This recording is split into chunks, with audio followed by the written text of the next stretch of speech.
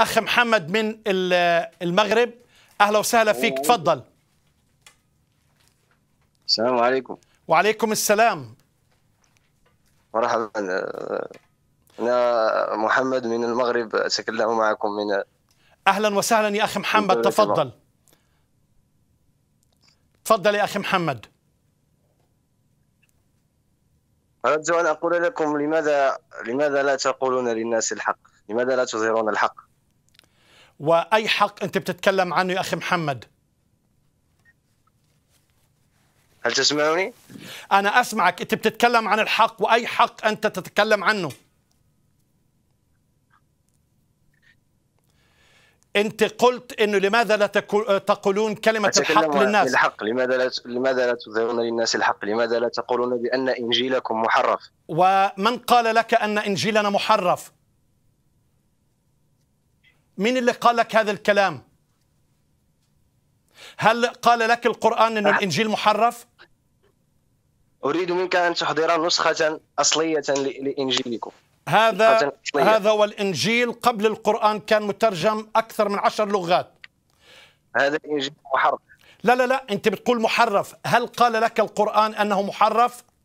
والله الله عز وجل يقول فويل للذين يكتبون الكتاب بأيديهم ثم يقولون هذا من عند الله ليشتروا به ثمنا قليلا. لمن يتكلم هذه الآية أخي محمد؟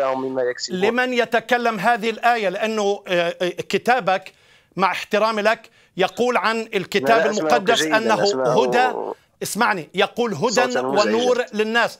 فهذه الآية لمن تتكلم؟ اقرأها وافحصها وارجع احكي معي المرة القادمة لأنه وقتنا أزف يعني على الانتهاء. بحب أنك تتصل معي المرة القادمة لأنه عاوزك تقرأ الآية. شو رأيك؟ اتفقنا؟ أوكي.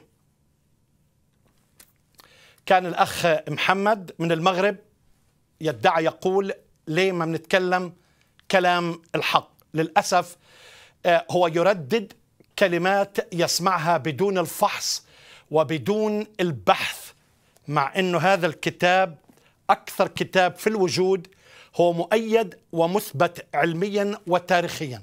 حتى أي مخطوطة أخرى في هذا الوجود يعني أنت بتتكلم عن أكثر من 24 ألف آه، مخطوطة عدا عن ال- الكودكس اللي هي آه، نسخ مثل السينائية والفاتيكانية والباشيتا يعني موضوع كبير طويل. فإذا هنا يعني يتحدث لأنه لا يناسب كلامه فهو محرف. بدل أن يبحث ويقارن ليه يعني ليه محرف؟ ومتى حرف؟ ومن حرفه ولمصلحة من التحريف؟ هل اليهود حرفوا؟ طب مع أن المسيحيين العهد القديم. وهل المسيحيين حرفوا العهد القديم؟ عند اليهود نسختنا. ومن يستطيع أن يبدل كلمات الرب لا تبديل لكلمات آه، الرب. ومن يتجرأ على تحريف كلام الله. يعني هذه آه، زي آه، تون نوتة صرنا نسمعها بشكل مستمر وأنا بتمنى من كل قلبي أنه يتصل معي أخي محمد من المغرب الأربعاء القادم. على كل حال عاوز أقول أحبائي أنه أي مستحيل أو أي جبل أمامك تستطيع من خلال الصلاة بالإيمان لمجد الرب وحسب مشيئة الرب أنه تقوم بأمور عظيمة. أنا بصلي اليوم أنه الرب يعطي شفاء وفعلا يعطي إبراء. وكل واحد بشاركنا أنا بصلي وبشاهدنا أنا بصلي اليوم أنه اليوم يكون يوم خلاص في حياتك. عجلة الزمان تتقدم لا ترجع إلى الوراء. اليوم إن سمعتم صوته فلا تقسوا قلوبكم.